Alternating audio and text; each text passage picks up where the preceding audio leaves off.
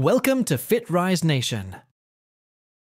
Today, we're diving deep into your body with a 3D internal journey to see what really happens when you eat sugarcane. When you chew sugarcane, the natural sugar called sucrose hits your tongue.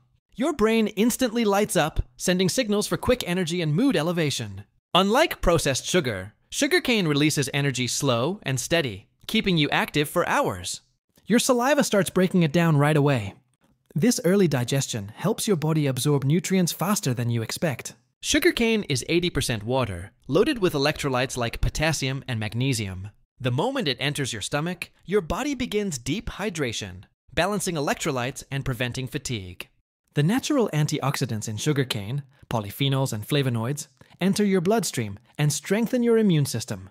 They fight inflammation, protect your liver, and shield your body from oxidative stress. Sugarcane juice is a powerful alkalizing agent.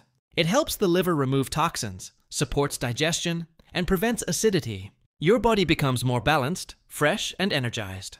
The minerals in sugarcane improve blood flow and maintain healthy hemoglobin levels. This supports your heart, muscles, and overall stamina. Believe it or not, chewing sugarcane cleans your teeth naturally. Its fiber removes plaque, massages gums, and promotes oral hygiene. Sugarcane is natural, but still sugar, healthy when eaten in moderation, especially for energy, hydration, and liver health.